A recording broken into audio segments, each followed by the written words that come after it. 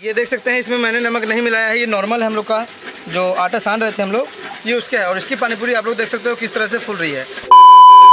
तो दोस्तों, स्वागत है आपका एक और शानदार वीडियो में। तो आप लोगों के कमेंट्स थे, क्या पानीपुरी के आटे में नमक मिलाते हैं? मिलाते हैं, कभी मिलाया है? चलिए, मैं पूरा आपको प्रैक्टिकल करके दिखाऊँगा। तो अभी देखिए, यहाँ पे पानीपुरी चल रही है, और पूरा प्रोसेसिंग आपको दिखाऊँगा, वीडियो को लास्ट तक ज़रूर देखिएगा। और नमक डालने के बाद क्या होता है, क्या इफ़ेक्ट पड़ता है, वो सब आपको इस वीडियो में पता चलने वाला है। तो वीडियो को एंड तक ज़रूर देखिएगा। तो देख सकते हो, यहाँ पे पानीपुरी का आटा हम लोग छान रहे हैं, क्योंकि कभी कभी ना कुछ कंकर टाइप से निकल जाते हैं तो जो पानीपुरी के आटे को नुकसान कर देते हैं और पानीपुरी नहीं फूलती। और बरसात के समय में ना बोरी सीली रहती है तो वो पापड़ी जम जाती है, इसीलिए हम लोग इसका पानीपुरी का आटा छान रहे हैं। और इसी में से मैं आपको अभी बना के दिखाऊँगा, इस आटे में हम लोग नमक नहीं मिलाएँगे, क्योंकि भाई ये ख़राब हो जाएगा तो दिक्कत हो जाएगी। मैं इसी आटे में से थोड़ा सा आटा निकाल कर आपको प्रैक्टिकल करके दिखाऊँगा। तो चलिए ये मैं मिक्स कर लेता हूँ। और मैंने कटोरी में निकाल लिया। समथिंग मतलब ज़्यादा नहीं निकालूँगा, थोड़ा सा ही, क्योंकि ख़राब तो होना ही है भाई। तो ये देखिए, मैंने इतना आटा निकाल लिया।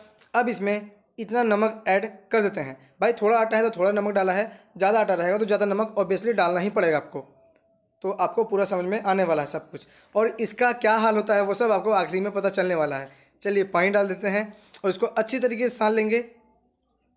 जैसे पानी पूरी का आटा सानते हैं। ये देखो। ये सान लिया अपन ने।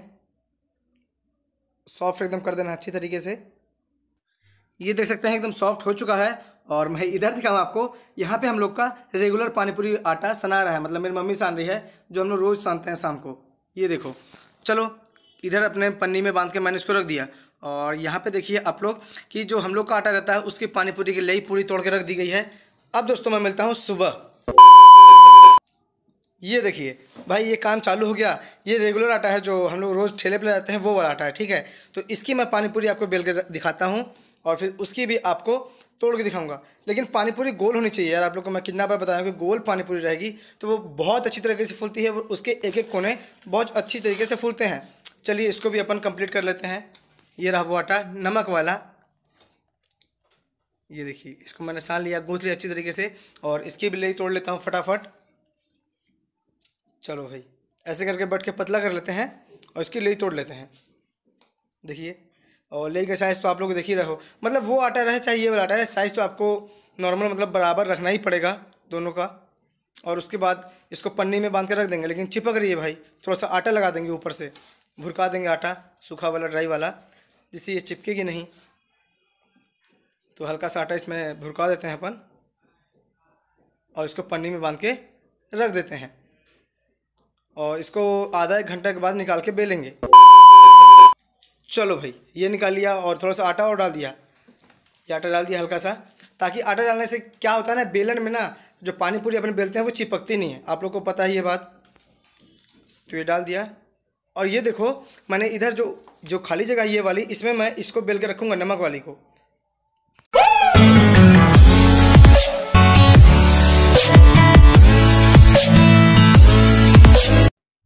तो चलो मैंने ये वाली पानी पूरी बेल ली, ये देखिए कंप्लीट हो गया। अब इसको अपन थोड़ी देर के बाद ये देख सकते हैं, इसमें मैंने नमक नहीं मिलाया है, ये नॉर्मल है हम लोग का, जो आटा सान रहे थे हम लोग, ये उसका है, और इसकी पानी पूरी आप लोग देख सकते हो किस तरह से फूल रही है। ये देखो।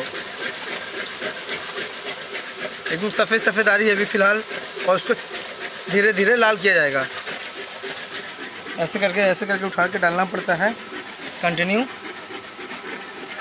ये देखो। और एक तरफ़ से इसको खोल लेते हैं ऐसे करके।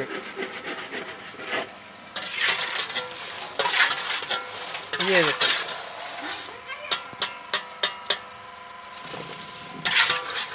तो चलिए मैं आपको अब नमक वाली पानीपुरी तल के दिखाता हूँ कि कैसी फूलती है, क्या होती है। तो चलिए, जैसा कि आपको पता है कि इधर वाला है बिना नमक वाला और इधर वाला है नमक वाला। तो चलिए, दोनों में क्या डिफरेंस होता है और क्या अंतर पड़ता है, आपको देखने को अब मिलने वाला है। ये देखो, अब नॉर्मल पानीपुरी तल के दिखाते हैं।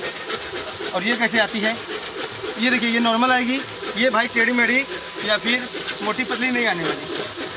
तो ये क्वालिटी है इसकी। ये देखिए। देख सकते हैं आप लोग।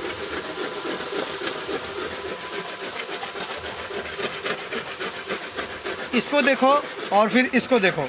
कितना ज़्यादा अंतर है। ये देखो।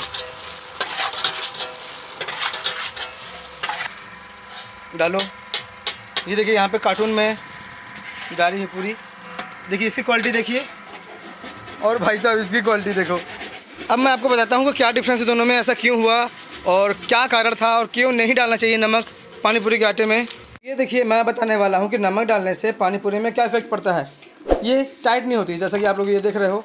ऐसे सील गई है, जैसे कि मतलब क्या बताएँ, जैसे बरसात में सिल जाती है ना, कुछ उसी तरीके से पूरी सिल चुकी है। ये देखिए। और मैं आपको नॉर्मल पानी पूरी भी दिखाया था और टेढ़ी मेढ़ी हो जाती है पूरी और पचकी भी है, मान लो ज़्यादा। लेकिन पचकी ना आपकी टाइट हो जाएगी, लेकिन देखो, हल्की टाइट है, लेकिन भाई क्या ही फ़ायदा जब पचकी ही निकल गई है तो।